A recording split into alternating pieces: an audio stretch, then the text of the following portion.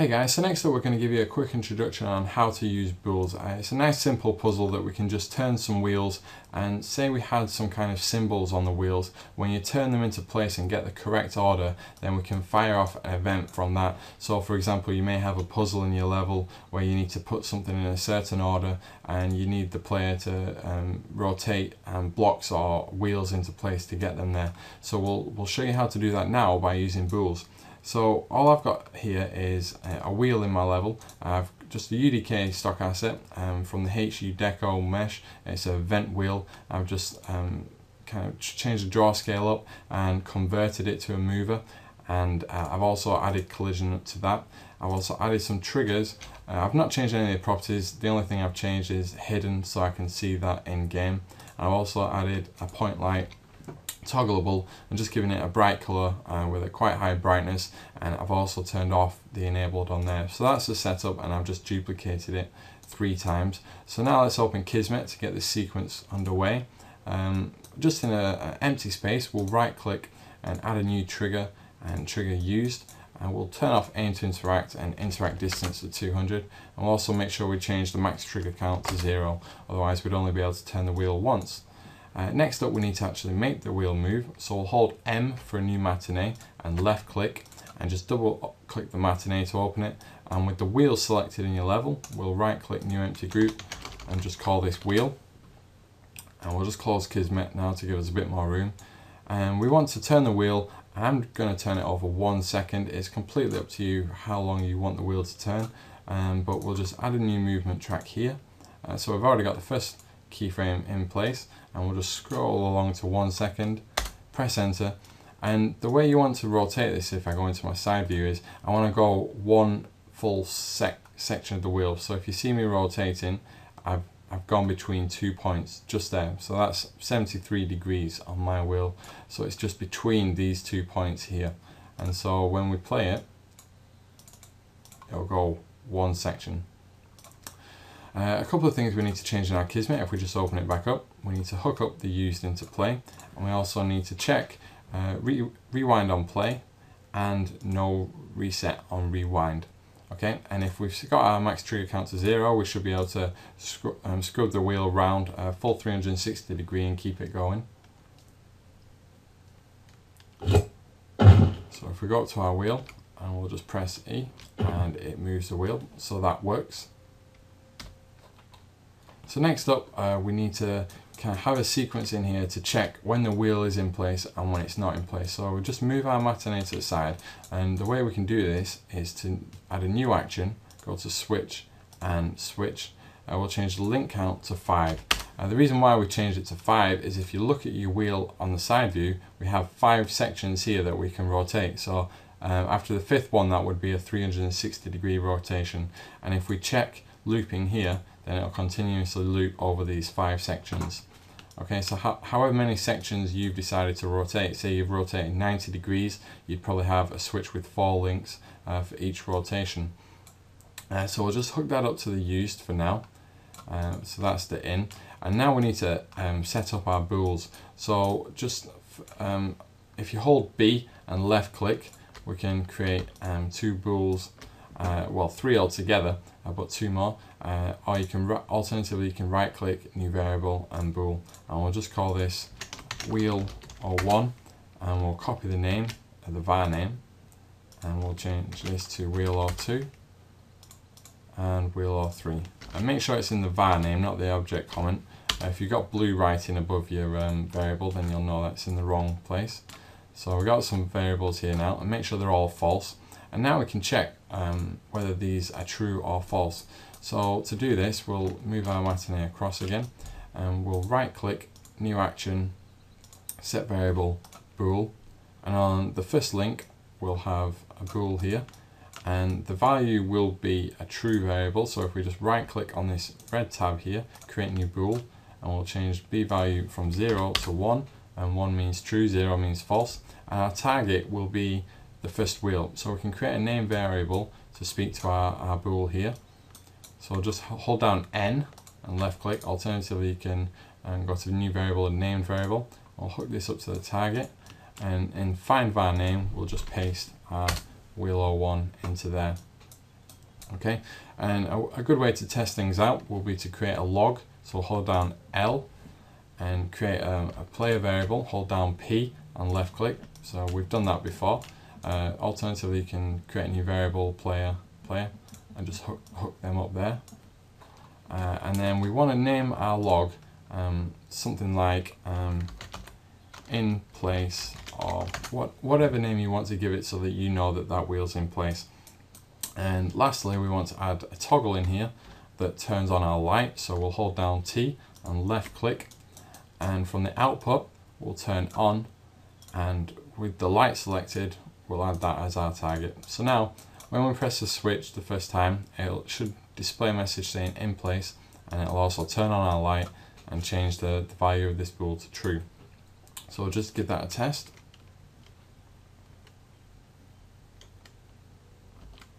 I'll move that wheel, it says in place and we can see a green light coming on there. So that seems to work well. So now we, because we got it looping, we want um, a backup kind of system in place to reset that bool back to false if they take the, the bool out of place. So to do that we can just um, select this part and copy and paste. And just to give us a bit more room, uh, we'll move this down, move this one up so that the true one's on the bottom and, the, and this second one will be on top. So we'll hook this up to the second input. So as soon as we fire the switch again it moves out of place, we'll change this to false. So let's change that to zero and break this link out there if you did copy and paste it and just put that into turn off. So that means that when we press the first link, it'll say it's in place and it'll work and then it will go to set the bool to true so the wheel is in place. But as soon as we press this switch again, it'll change it back to false and turn off the light again. So we'll just give that system a quick try now. So I go up to our wheel, press E, and it says in place, the wheel comes on, press it again, and the light turns off. So we know that's working. Uh, you could add a sound in there, so we'll hold down S and left click, and when the, the bool is true, we'll play a sound. And you can find any sound in the content browser really. Uh, if you go to the UDK game content, hitting sound cues and just go to menu. There's quite a few good just um, bleep sounds in there, so I'll just use UT menu checkbox, select cue, and just plug that into my Kismet um, just by plugging it in there. So then the sound will play. And apart from that, I think that's pretty much our setup. So we'll hold Control and Alt and left mouse drag and press C to comment that. And we'll call that wheel or 01 and then we will select everything again and copy and paste it and then paste it down again. And so we'll double click on the second box and just change this to wheel 02 and change this one to wheel 03 and because we copied and pasted stuff uh, it means all our values are still the same so it still uses the same trigger and same bools and same uh, actors. So we'll go to the second wheel in our sequence and select our trigger and update trigger by right clicking assign trigger and whichever number you have so it uses the new trigger. We'll also update our light in the second sequence and we'll also update our wheel. And we also need to make sure we update our two bools from wheel 1 and rename them to wheel 2. So I'll just do the same process again for the third wheel update the trigger, the light, and the wheel, and also our two bools here. So now we should be able to put all three wheels into place and it should say in place. So we'll just check that out now. So we go to the first wheel, press E, it's in place, the green light's on. Second one in place with the green light on and third one in place with the green light on. So we know that that setup works now uh, and now we need a way to compare when all these um, bool values are set to true. So the way we can do this is to first create a remote event by holding down R and left clicking and it says event name we'll just type in uh, compare here and we can leave the event to the side but uh, move the action of the remote event here. And we'll just plug this from the, the true bool to compare. And this means that whenever this bool is set to true we will compare uh, this with the other three and then we can fire off an event. So we'll just click on that and copy it and then paste it down here again. And we'll also paste it down here And then the way we can compare bools is to right click, new condition, comparison, and compare bool, and then hook your remote event up to the in. And the, what we're comparing is the three values of the wheel 0, 1, 0, 2, and 0, 3. So we create uh, and some name variables again by holding down N and left clicking. And we'll call this wheel 01, copy that, wheel 02, and wheel 03 and they should all have tick boxes so they're speaking to the right wheel. And then we'll just hook them up to the bool. And now whatever event we fire off here or whatever action sorry um, that will mean that all three wheels are in place. So say you wanted to open a door you could have a matinee firing off true or you could have an AI firing off here or some kind of um, event to happen. For now though we'll just add a log by holding down L and hook that up to there. The target will be the player, so hold down P and left click and make sure that player 0 is in there. And so now when all three of our um, things are in place, it should play, fire off a log saying um, fire event. Okay, so we'll just test that out now. So we go to our first switch here, we press it, that one's in place and this one's in place. And then thirdly we should have a fire event when we press this and it says fire event. So this will be your fire off event when all the, the player has got all three wheels in place. So to round things up we'll just comment this and, and compare bool states. So they know what that's doing. And then just to sum up the overall sequence here uh, we've got a use trigger in here. We can use it as many times as we want and we can rotate this wheel as many times as we want in a 360 degree. Uh, whenever it's in place, we set the value to true and then we, we fire off a compare seeing whether, whether these two uh, bools are true as well. Uh, this will only fire off when all three of these are true. Um, and so when you move it out of place, it will set it to false again, so that even if the other two are in place, we've had a backup sequence and all three won't be true.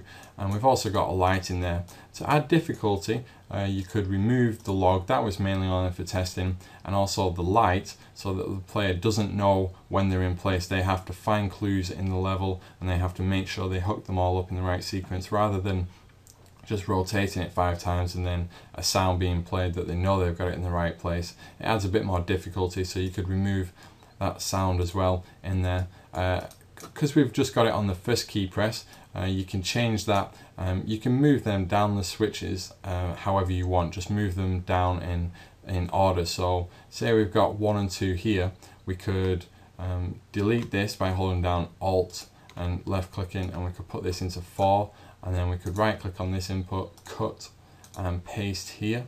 And so now when we press the third one, it goes in, in place. So we'll just right click, play from here to show that. And so now when we press it the first time, nothing will happen. But then when we press it again and then once more, then it will be in place. So you can do that for the other three other three wheels in the sequence just to add a bit more variation in there. But apart from that, you just need uh, an individual sequence for each one of your wheels. Say you have four different wheels, then you would be comparing four bools here uh, and just have a play around. Uh, but that's just a quick introduction on how to use bools. Thanks.